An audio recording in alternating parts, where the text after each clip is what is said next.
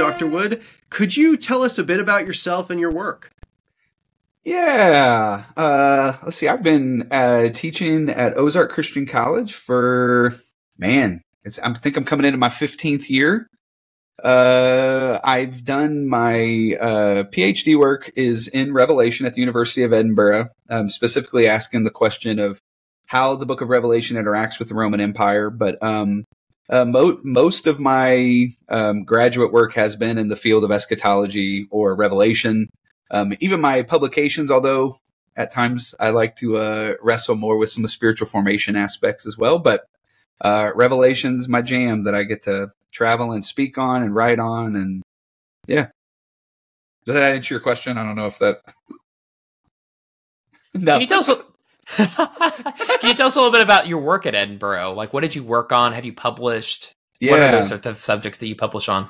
Yeah, so I got to to study under Helen Bond, uh, who she's uh, much more well known for her areas of a historical Jesus, but you know, world's leading expert in Caiaphas and Pontius Pilate.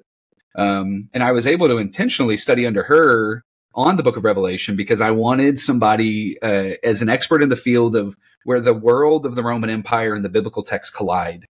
Um, and so, under her guidance, I dove into post colonial theory and examinations of dominance, how subjects and sovereigns interact, um, knowing that, you know, the biblical text is a subject text. Um, and so at times there's going to be interactions with the sovereigns of, of uh, from a subject perspective, both positive, negative, and at times indifferent. Um, and I was asking specifically, how does the imagery of Revelation uh, highlight or communicate this interaction between the subjects and the sovereigns? Um, and I specifically um, focused on, um, uh, so I, it, the book uh, that was published out of that, it's called The Alter Imperial Paradigm, Empire Studies in the Book of Revelation. Um, and I developed a paradigm of saying, I don't know that we're really looking at empire questions critically enough. Uh, we always just assume anti-imperial, but frankly, subjects are far more complex than just a for or against an empire. Um, and Revelation's imagery displays that, specifically in the release of Satan. Um, I make the argument that the release of Satan actually can be explained best with imagery from Roman triumphal procession. So, uh, but the, the idea was to develop a paradigm that we can extrapolate not just to the rest of Revelation, but maybe even to Pauline studies and, and gospel studies too that um, have imperial questions. That's awesome. But today we're going to focus on a little bit of a different subject. We're going to talk a little bit about everyone's favorite topic, the rapture. We're going to yeah. reduce all of your exciting research to this one popular topic. Uh. well, I think it was in one of your classes that I first heard that something like the majority of the, the questions that pastors will get will either be mm-hmm. from like Genesis or Revelation, the beginning mm-hmm. and the end. I believe there was something that you said about that. And that makes sense because now having been in ministry a little bit, that is 100% true. it is. It's it and, and it's it's normal, you know, for humans to wrestle with their origins and where they're they're their telos, where they're headed. Uh, but yeah, I mean, if you're if you're preparing for ministry and you you uh, actually haven't dove into anything Revelation, get ready to live.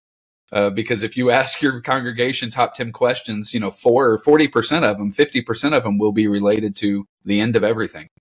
Uh, but like I said, I think that's innate in who we are as humans. I don't, I don't lament that and I don't even, um, uh, fight that. I think it's actually normal for us to know where we're, or the desire to know where we are headed. And just in case there's like, you know, three people who don't know what it is, can you tell us a little bit about what the rapture actually is? Mm-hmm.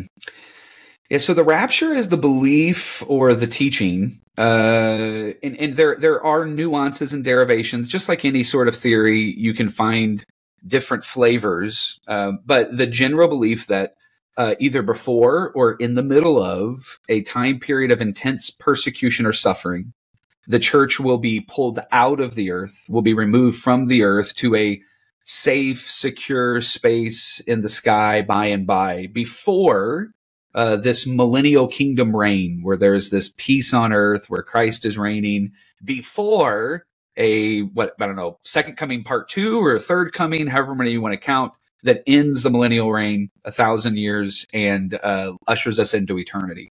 So the rapture is this like um, in a sense, almost seemed seen as this like uh, gift to the faithful of removing them before things get bad or as things are bad um, as a way of, um, in a sense, rewarding their faithfulness. I don't really know how else to to measure the way in which people are raptured outside of that concept of of rewarding faithfulness. Sometimes it's like a secret rapture, a silent rapture, although that's kind of hard to defend whenever you have a lot of trumpets blasting and stuff like that. But sneak attack. Sneak uh, attack. Well, did did you grow up believing in the rapture? Is this is this what you come from? Your background? My background, I grew up in a church that did not talk about Revelation. Uh, it was like I remember as a as a four year old, you know, uh, we would, I, I, grew up at a non instrumental Church of Christ, so I know that maybe some of your listeners have no idea what that's like. The way I describe it is in my church, all Church of Christ and Christian church, because they're independent, they all have very different flavors, and so because they're autonomous my flavor, our Church of Christ believed that no one outside of us is saved, and we're not even really sure if we are half the time. So it, it was this very different way of processing our identity. Um, and Revelation, like as a four year old, I had to memorize my books of the Bible. So I knew the book of Revelation, but we didn't preach on it. We didn't teach on it. But what I heard about it echoing through the halls of the church uh, was that yeah that this idea that we will be pulled out at a certain point before things get bad so you better not be left behind. But that was I I picked it up. I just don't remember ever being officially taught it. Uh, but when I did go to investigate it that was everything that everybody talked about that I ended up talking to. Now we were talking a little bit before we started the recording about a little bit of a humorous story that you had with regards to end of days. Can you yeah. can you share that with our listeners? And have you heard any other stories like this? Hilarious stories about beliefs about the end times that happened. Yeah, you know, so my very first interaction with Book of Revelation, because I grew up in a church that didn't talk about it. Um, I'm a junior in high school. I'm coming home. It's after curfew. Um, I was one of those kids that, man, I just sometimes I'd be in the moment at a friend's house and I'm like, nah, it's worth getting grounded next weekend. And I would stay too long, but then I would try to rush home to make it up for it. So I'm rushing home. I have this little Geo Metro. So you're talking like it's like a little skittle. It's like a like a, a micro machine. Uh, and I'm I'm going down 4061 in the St. Louis area, and I come up over this hill, and I am square in the face, blood red moon.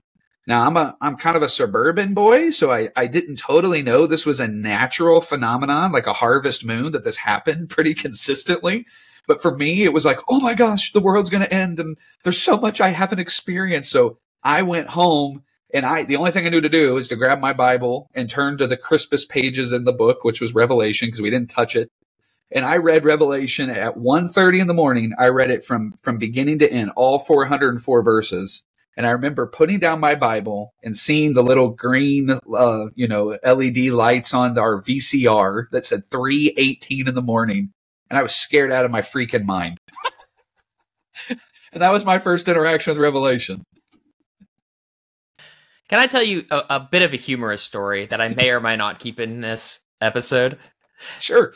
So when I was a little kid, we were watching the the real Left Behind series, the James Cameron, not the Nicolas Cage one, the oh, real yeah. Left Behind series. True. Kirk Cameron. Kirk, That's true. Would have been a, a, very different movie if James Cameron had James Cameron. Yeah, that's right. James Cameron. Avatar. Yeah. High budget. One, yeah, yeah, yeah. The billion dollar epic Left Behind. Kirk Cameron. Excuse me. So I'm listening to Kirk Cameron and Left Behind. I'm watching it. My my mom's got it on, and boy, was it terrifying, especially when mm. the Antichrist was being talked about and how he like came from like a good Christian family. And like they're talking about like all these descriptions about the Antichrist. And I'm sitting there going, you know who that sounds like? Me. What? You were Me. throwing your hat into the ring for the Antichrist role? well, yeah, and I'm just sitting there like sweating bullets, you know, That's as a little awesome. kid. And I, I look at my mom and I said, Mom, could I be the Antichrist? Could I get possessed by Satan? Mm. And she looked at me, dead honest, looked me right in the face and said, You could. I never had a more sleepless night looking at my closet, just waiting for the spirit of Satan to jump out and jump on me and, you know, possess me. And I became the Antichrist, you know? So, so that, that was the moment you knew who you were called to be. Well, no, and, I told this. I told this This once. is the origin story. This is I- the origin. I told this story once, and then one of my professors in the midst of this goes, Well, you know, the jury's still out on that, Seth. So, Here, here's what's interesting though about your story. First of all, it is humorous, but there is an element of of of the story that you told that I commonly do hear, and that's terror. Um, whenever you speak of rapture, a lot of the times the the the follow up comment is, "Yeah, whenever I was a kid, it terrified me to think I could be left behind." I mean, I, you're the first person I've ever heard that was terrified about potentially being the Antichrist, but but it is it, it is a doctrine that is rooted in a pretty con, consistent fear um a, a fear of not just being left behind but a, a a fear of what is the particular point in which i fall from being in to being out.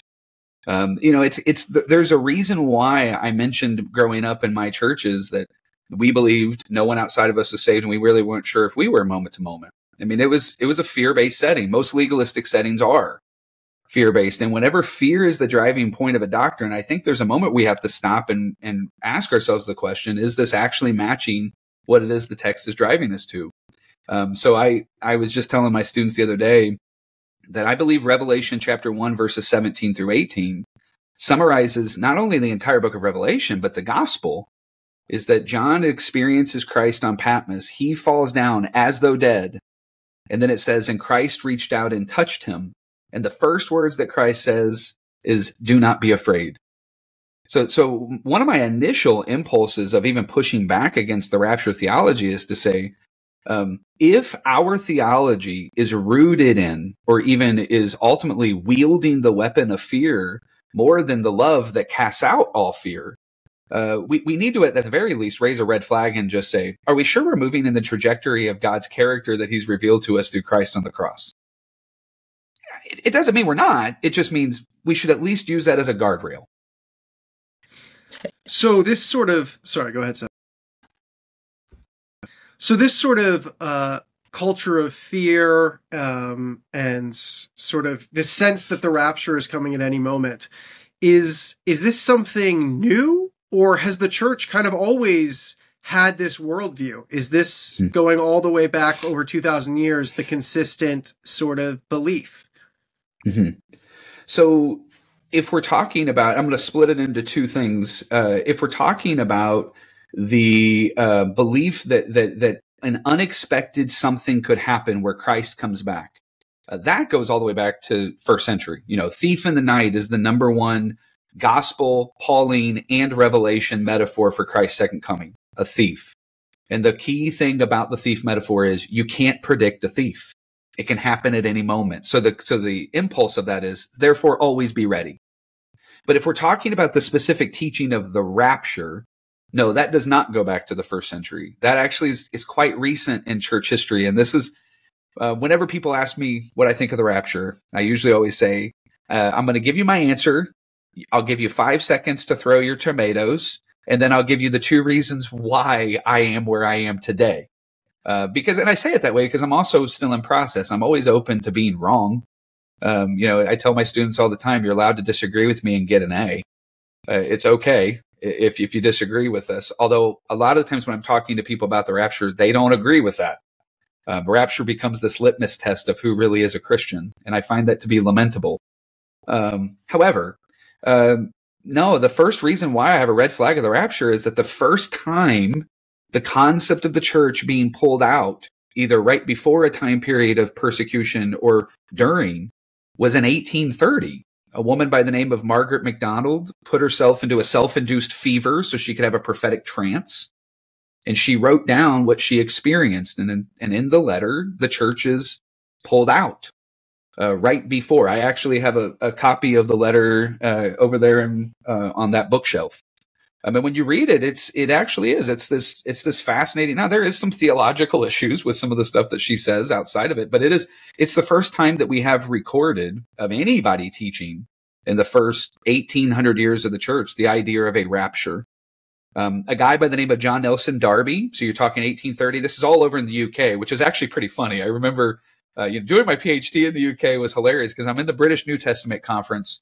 I'm sitting around this this table with a bunch of Revelation scholars, and they were confused. They're like, American churches really believe in this idea of the rapture. And finally, I was like, excuse me, y'all gave it to us. So I don't want to hear any sort of criticism. It came from y'all. uh, but John Nelson Darby uh, then puts the theological muscle uh, around this vision of Margaret MacDonald. Whether or not they had contact or anything of that nature is is a big question mark. But we do know they're in the same location, that they do know of each other eventually, and that John Nelson Darby takes this idea and he has over the next 15 to 20 years six trips to america um, influencing a group primarily known as the uh, the plymouth brethren and he is espousing this rapture belief that then eventually influences a guy by the name of cyrus scofield who wrote the first study bible he compiled the first study bible the scofield reference bible uh, that now we take for granted. You know, we have our Zondervan study Bibles and our ESV study Bibles and um, all kinds of this. Well, Scofield was the first one to do that in English, and it was a wildly bestseller, 1907 to 1914. Um, and that the problem is, is people stop distinguishing the inspired words at the top and the uninspired words at the bottom. But the uninspired words was espousing this rapture belief um, that influences a guy by the name of uh, Dwight L. Moody, who, um, from my belief, he was the greatest evangelist in the first half of the 20th century. Uh, the church that my family and I attended whenever I lived in Scotland uh, was a church established by Dwight L. Moody. Like the guy was an evangelist second to none. But whenever he went and took the message of Jesus, he also took the message of the rapture. And that influences a lot of people. Just like the next uh, greatest evangelist of the 20th century, uh, Billy Graham, who in the 1970s wrote a book called Approaching Hoofbeats, which espouses the rapture theology around the same time in the 1970s, a guy by the name of uh, uh, Hal Lindsey wrote the book The Late Great Planet Earth that worldwide in the decade of the 70s outsold the Bible.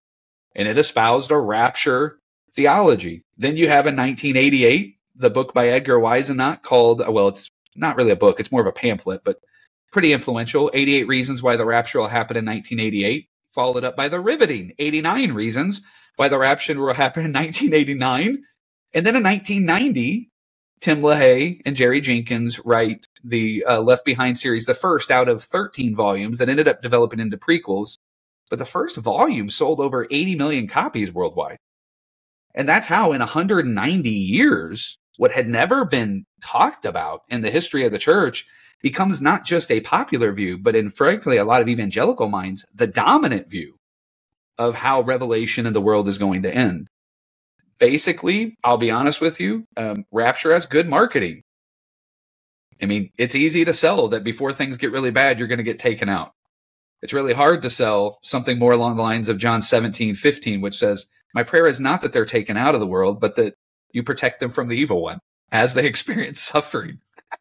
that doesn't sell. So, what you're saying is the rapture is more recent historically than the than Frankenstein the book. like this is a recent, yeah. deeply recent thing that yep. ha- doesn't have roots back in church history. That's yeah. Now, yes, that's correct, and I I don't think it's incidental also that it is um it is arising at the time also where there's a lot of optimism and as there's this colonizing expansion. Um, so as things are getting more positive, if things get negative, then there's also this handout of a sense of you're going to get pulled out before it gets really bad. Um, but yeah, you're, you're, you're, I would, that is a correct assessment. The rapture. Now I'm being, being very specific. I'm not talking about the concept of a thousand year reign on earth. That goes back, you can trace that back to the earliest strata of, of Christian history. But the concept of a rapture and like a tribulation, seven year tribulation, that's about 190 years old. My favorite part about your story is when these British scholars were making fun of Americans. You didn't say you gave it to us. You said y'all, y'all gave it to us. the most American way you could have ever phrased that. You're darn right. You know, I, as a Canadian, I often lament Americans and the existence of America, and then I realize it's England's fault that you guys are all they came from England. So I, I too blame England for all of this. This whole this whole debacle. It's England's fault now, eh? I love it. So, if this is a recent phenomenon, mm-hmm. something that's less than 200 years old, like we can trace some pretty modern heresies back further than that. Yeah. what sort of biblical text were they appealing to? What was Darby going to in the Bible? Apparently, finding that 90% of church history somehow missed. Yeah, and I and I do want to make sure that I that I say this. Just because it's 190 years old doesn't mean it's wrong. It's just a red flag. It makes you stop and go, hmm. Uh, and and, and I, I want to be specific on that because there is a part of this where we we I actually, and I know this is not very Protestant of me, uh, but I do believe that, that we're dealing with an infinite God, and therefore it shouldn't surprise us when at times we're able to uncover something that at one point we just did not cle- see clearly. So, because of its recent, I don't want to have a recency bias to say because it's recent church history, therefore it must be false. So that's why I always say there's two reasons why I eventually come to the conclusion I, I don't believe in a rapture. One is history gives me pause. That makes me stop and go, that's pretty new. I need to dive into the second reason, that's the texts. And so that's what you're guiding towards. There are three major texts, although just like everything, uh, whenever you put the lens on, you can find it everywhere. Uh, but there are three big ones when it comes to the rapture. Um, and I'll say them in canonical order uh, for no other reason than that's easier. Uh, but Matthew chapter 24, verses 40 through 41. Uh, that's the big one. That's the one, the image that everybody gets. You know, two will be in the field, one will be taken and the other left. Two will be at the handmill. One will be taken and the other left. Um, that's a big one. First Thessalonians chapter four, verses 13 through 18. That's the idea of, and then they will meet him, Christ, in the air. So that's actually where the word rapture even comes from. Uh, the word rapture in English does not appear in the Bible a single time.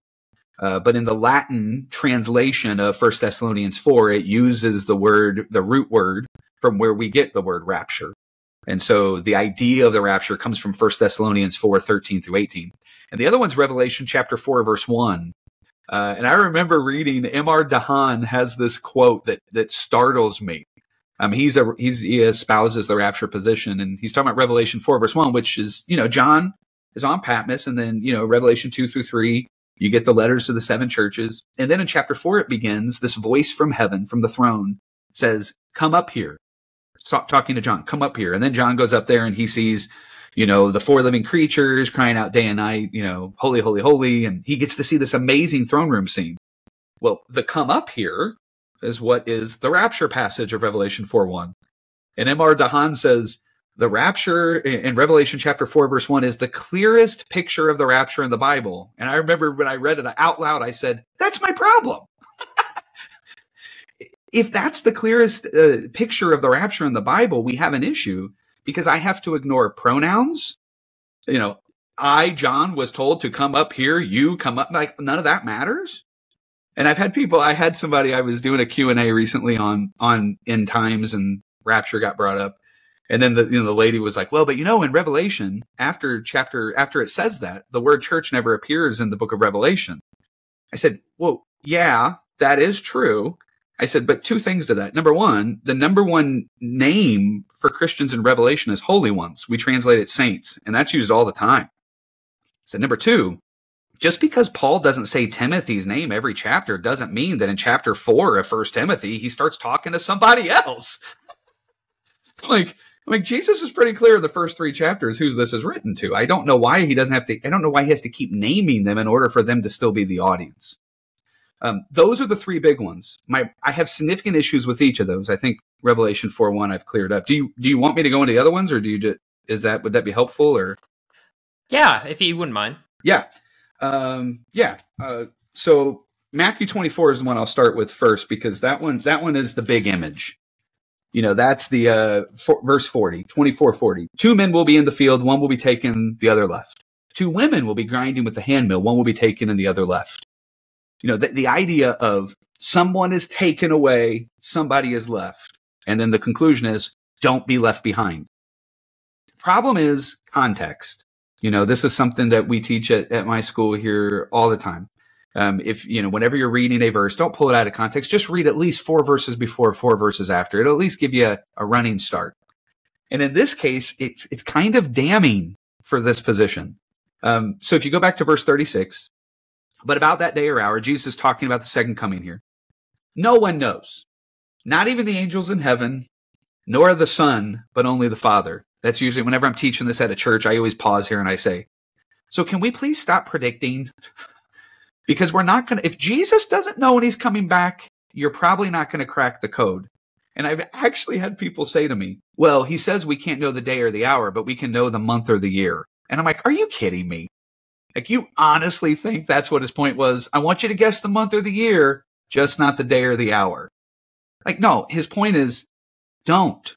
You're wasting kingdom energy whenever you're using your time predicting things like eclipses pointing towards the second coming or blood red moons. No one knows. So what's the implication? Be stinking ready. Always be ready. But verse 37, he says, as it was in the days of Noah. So Jesus, like a good preacher, is bringing in an illustration. He's like, let me explain this second coming thing. As it was in the days of Noah. So Genesis 6. So it will be at the coming of the Son of Man. And then he uses the illustration. And what I always try to point out here is that the singular and the plural matter. He's delineating two groups, good and evil, based off of singular and plural. Uh, for in the days before the flood, people, plural. So he's already used Noah, singular, people, plural. We're giving, we're eating and drinking, marrying and giving in marriage up to the day Noah, singular, entered the ark. So now we have these two groups, and the question that you, that you need to, you know, ask from Genesis 6 is, if Noah is the singular and the people, or, you know, uh, outside of the ark are the plural, which is good and which is evil? Well, clearly Noah and his family, the singular in this text, is good. And the plural in this text, the people outside of the ark, are evil. So this is what Jesus is saying. This is what we have the second coming. Then he says this, verse 39, and they, plural, knew nothing about what would happen until the flood came and swept them, plural, all the way. So using Jesus' illustration, I say, well, then in the days of Noah, who was swept away? Who was taken away from the earth? The answer was plural, the evil. Then the very next phrase, he says, that is how it will be at the coming of the Son of Man. Two men will be in the field, one will be taken and the other left. According to the days of Noah, though, the person that's left is good, not the evil. So my pushback on this text is you have the wrong people being left behind.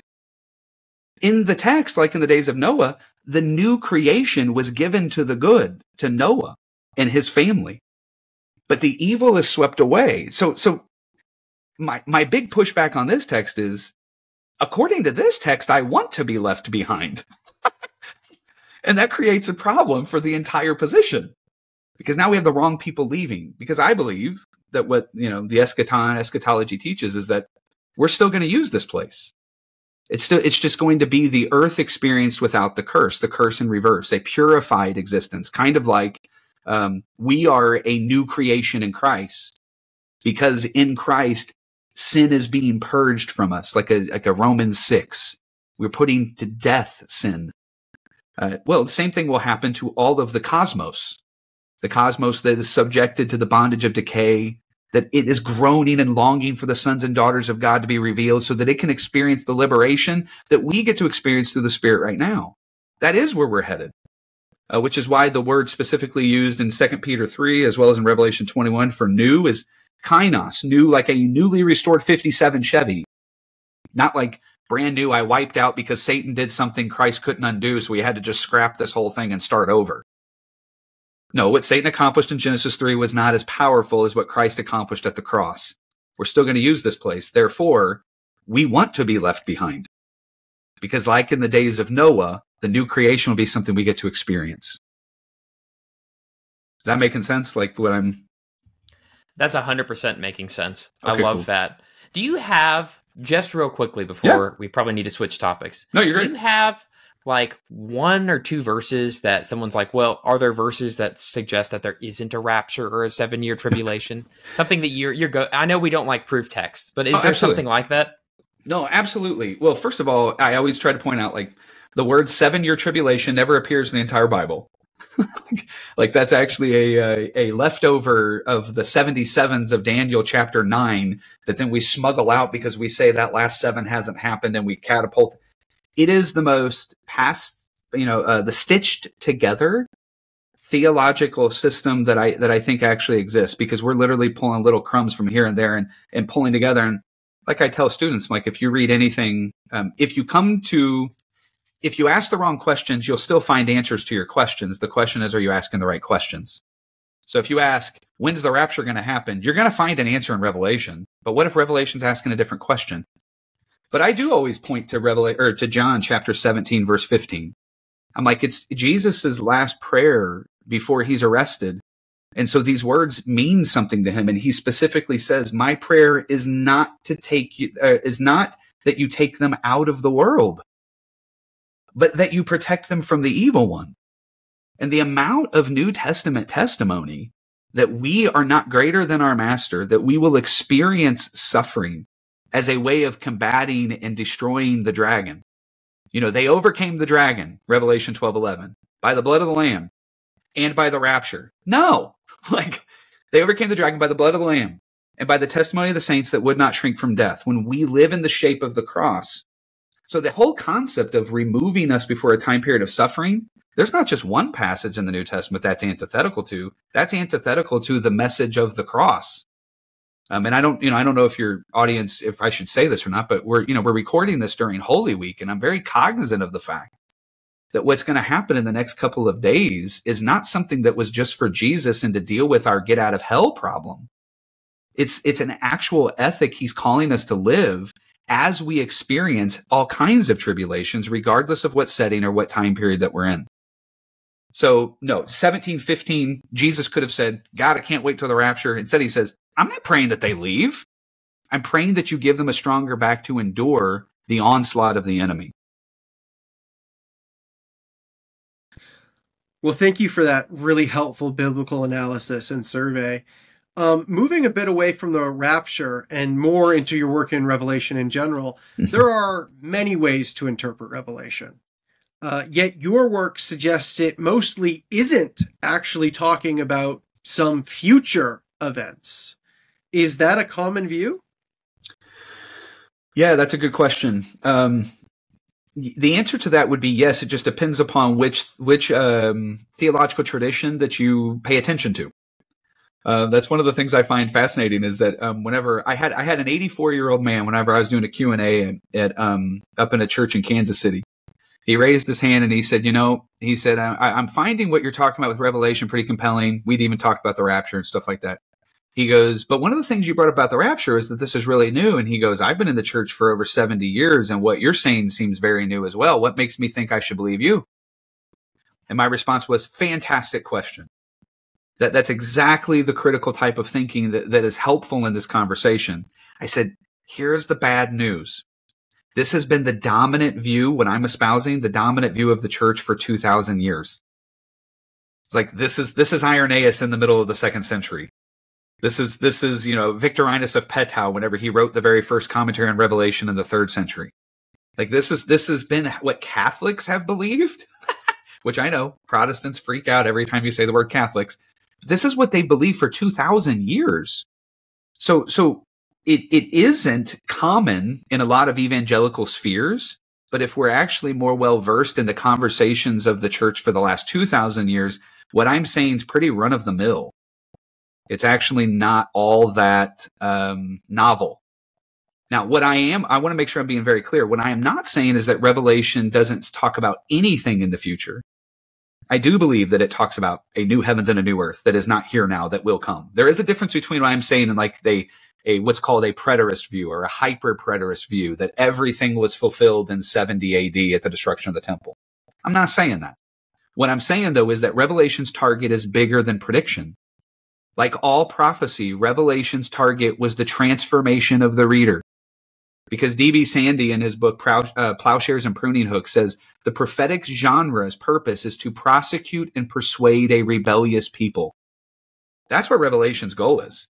The transformation of the reader, not the prediction or playing some cosmic fortune teller in the sky.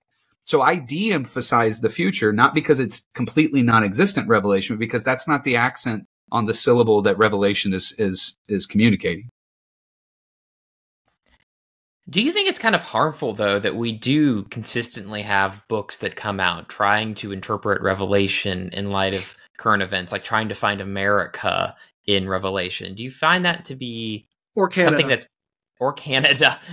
For some reason, they're never mentioned. I don't know why, John. It's maybe like they're not as relevant. No, uh, Yeah, no, I, I actually I think it's I think it's uh, beyond damaging uh, for our witness uh, because because this comes from me with talking with family members that are no longer Christians.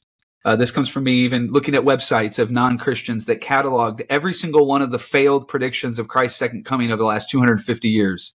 And here's the implied message if you keep getting the second coming wrong, you're probably getting the first coming wrong too. And my response back is, we're doing it to ourselves. When we put so much time and effort trying to predict the future and we consistently prove to be wrong, what makes them think that when we talk about things like atonement, that we're actually speaking truth now? Like how many failed predictions? This is one of the things I always ask. How many failed predictions do, do I get to make before I get my title of prophecy expert ripped away? Because I find that to be astounding. The amount of self espousing prophecy experts that get prophecy wrong and hurt people, and we still buy their books. At a certain point, we're doing this to ourselves, but it is damaging to our witness of the first coming of Christ because we think we've solved the second coming, when in reality, we're swinging and missing so much, people don't even know what we're saying is true and not true half the time. Now, I will say this I think there's a reason why we want to focus on the future so much. Um, a lot of the times we obsess over the future in the book of Revelation because we do not want to be confronted about our disobedience in the present. And if we can take this book that is trying to target and prosecute and persuade a rebellious people and punt it to the future, we don't have to deal with the hard work of what we're doing wrong now. And this is actually the reason why I think the church needs revelation now more than ever. Because frankly, a lot of the church's politics today, especially in America, is demonstrating we have forgotten who we are. And Revelation's calling you back to that. And the way to hide from that is to just punt it in the future. Let's just predict something instead. Well, a lot of those interpretations you've brought up sound like, you know, they have potentially tragic results. Hmm. So let's pivot a little bit. What are the some of the funniest interpretations of Revelation you've encountered? Oh man, that's an interesting question. I don't know if I have a uh, fantastic answer. Part of the reason why I think I might struggle with that question more than any question you've asked is that whenever somebody's asking the question, a lot of the times I'm I'm uh, more than giggling, I usually am trying to empathize. um, our questions usually come from experience.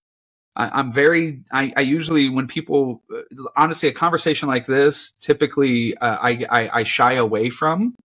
Um, not because I don't have answers to the questions that are being asked, but because I know that a lot of times people believe in things like a rapture is connected to their grandma that brought them to church whenever their parents were strung out on drugs. And their grandma believed in the rapture. And you're telling me my grandma that died, the only one that fought for me, that introduced Jesus, was wrong? A lot of the times, our questions in the, the interpretations that are in the room, they're coming from a deep place of, of love and longing. Um, and I have a hard time, and, and please don't hear me. I, I know there's funny interpretations and stuff like that. I, I actually, um, I have a hard time hearing any of them as humorous because I believe they're coming from a tender place. Even when we disagree, that's why I constantly say it's okay to disagree with me because you're in process and I'm in process and, and who has shaped me has brought me to the conclusions that I am at. Knowing that we're all seeking truth, but our truth does come through people. Um, it comes through the people that we love the most. And, and I'm not asking people a lot of the times to deny the rapture. I'm asking them to deny their grandma. And that's a way bigger task uh, so yeah, I mean, there's some there's some humorous ways in which we extrapolate some of our interpretations. I always find it funny when every single president that is elected is now the Antichrist, and you have a numerical way of proving it. I have a catalog of blogs going back to the to the first George Bush of of being able to use the mark of the beast to prove that this one is the Antichrist. I find that funny because I'm just like the Antichrist has literally had so many names, including Seth, that uh that it's hard to catalog. You can go back to Reagan because Ronald Wilson Reagan, Six, six six, letters, six six six, six letters, Absolutely six right. letters, six letters. Yeah, there we you just go. didn't have we just didn't have blogs then, so I can't. I don't have a way of cataloging it. I do remember one time I was reading after he was shot in Yep. the chest. Yep. He was put the And Antichrist came was a back. head wound. Yeah, yeah, and came back. He was supposed to have a head wound, so there was like I, I was reading something at one point where the, the chest was being reinterpreted as the head, and how Oh, yeah. get keph, you know kephale, the Greek word there, to fit. And it, it was actually quite humorous. It's like really trying to get Ronald Reagan to be the Antichrist. Yep. And and and in that, first of all, it, it, the creativity to come up with these interpretations is is humorous, but but and again, this is just the way my heart works. But beneath that, they believe that there is something at stake that that is so intense that they are willing to dive as deep and to pull together as many threads as they can in order to try to bring God's truth to people.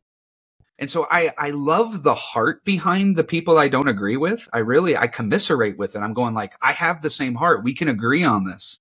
The question then becomes, are we piecing together things that's creating more confusion, terror, fear, or is it illuminating the revelation of Jesus Christ? That's, I just finished writing a, a, book on Revelation the other day, and the, the whole first chapter, literally, I just say, we at some point have to take the first five words of the book of Revelation seriously. It's the revelation of Jesus Christ. like more than the revelation of when the rapture will happen, it's telling us something about Jesus. And I know that's their heart. Even when they're talking about the Antichrist, they're trying to point to the person that contrasts Christ. And I, I appreciate that. But sometimes, you know, um, sometimes our best efforts can create the greatest tragedies. And we need to be cognizant and self aware enough to know that even if we have good motives, we may be creating more of a mess uh, than we're actually creating a solution. Well, thank you for that serious and deeply empathetic answer that makes me feel absolutely horrible for having asked that question. How, how dare you not descend into the gutter with us, Shane? I mean, geez. Okay. Well, can, I, I'll take credit for that. Part of what motivated us wanting to do that is you got a exegetical from a guy named Seth Hart way back in the day, if you don't remember. I don't know if I do. What did you do? Way back in your Revelation class, I was auditing it, and so I Uh-huh. snuck in a a fake exegetical. I 'cause do I couldn't get- remember this. Yeah.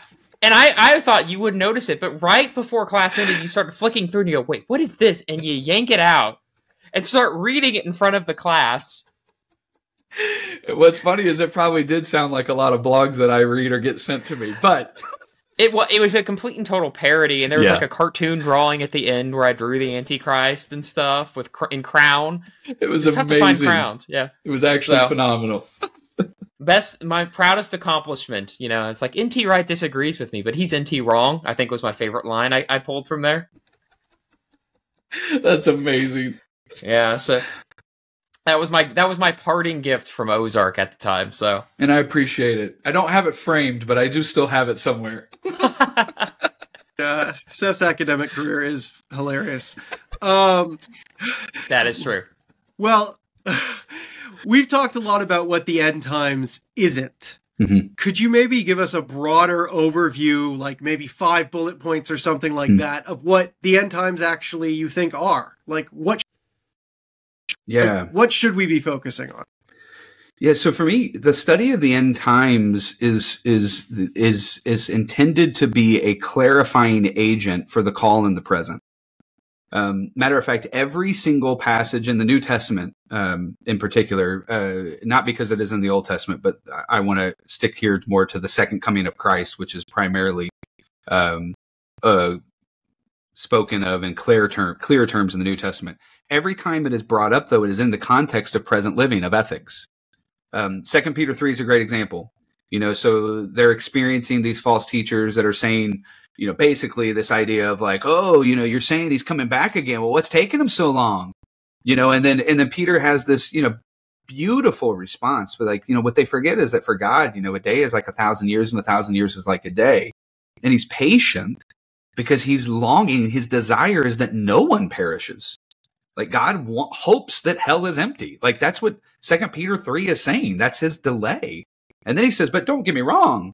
Like th- there's going to be fire that comes, and it's going to cure, you know, purify this world and this like really almost violent picture of purifying." And then he says this. He says, "In light of all of this, how then ought we to live?"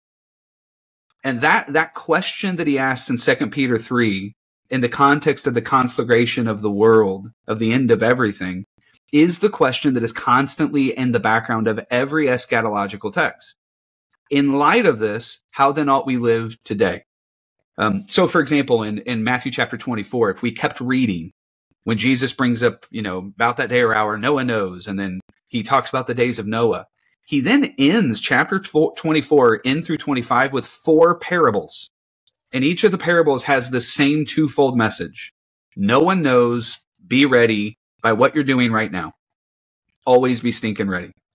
So Revelation has this this fascinating Revelation chapter 16 verse 15. So we're we're in between the sixth and seventh bowl. We've already done the seven seals, already done the seven trumpets, in between the sixth and seventh bowl. All of a sudden, there's this inter- interruption, this interjection of red letters where Jesus says, you know, look or behold, I'm coming soon. And he says, and blessed are those that are fully clothed, that actually have all of their clothes on and aren't found shamefully naked. Well, when you go to Revelation 19.8, it says, 19.8 through 10, that the fine linen of the of the bride stands for the righteous acts of the saints. Because in the book of Revelation, what you're clothed with tells you not just who your allegiance is, but your ethics. The end times is always a clarifying agent for the Christian. It's not to solve every one of the mysteries of the end times is God doesn't give us every detail because we don't need it in order to be faithful in the present. He gives us enough to know this where we are headed, you are secure. We, Jesus has already won the battle on the cross. Your job is to press into that in the present. But I'm going to pull back the veil at times to let you know, like a view of heaven. Kind of the danger of the view of heaven is sometimes in the present, we, we actually become more obsessed with or worship the place than we do the person. But God pulls back the veil of heaven to let us know A, you can sacrifice everything and the tender father will take care of you for eternity. Therefore, in light of this, how ought you to live? So eschatology or the study of end times, instead of predicting the future, it actually should curate how we are functioning or acting in the present. Well, thank you for that and for coming on the show and all of these really helpful uh, discussions. Uh, as just sort of a closing, where can our listeners find more resources on your work regarding Revelation, the Rapture, hmm. eschatology? Yeah, no. Um, yeah, first of all, thank you all for having me. This was more delightful than uh, other podcasts I've been on, so I definitely appreciate the uh, lively conversation. Um, yeah, I, I, actually have a website. If you just Google my name, Shane J. Wood, I, I all the classes I teach here at Ozark, I put up online audio totally for free. Um, I have Revelation series on video on Right Now Media or YouTube. Um, I did just finish a, a, book that'll be coming out um, hopefully the end of this year or beginning of next year with IVP called Thinning the Veil, uh, which really is it's all about Revelation. What if we read Revelation as a revelation of Jesus Christ? Um, so those are some places you can connect.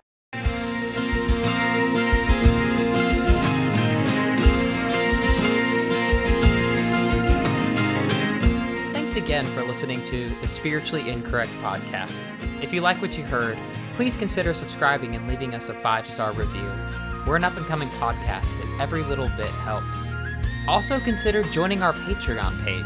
Patreon sponsors have exclusive access to unaired episodes, different kinds of merchandise, the ability to suggest an episode, and even an hour long interview with Jonathan and I. Check it out at spirituallyincorrectpodcast.com and see what you're missing out on.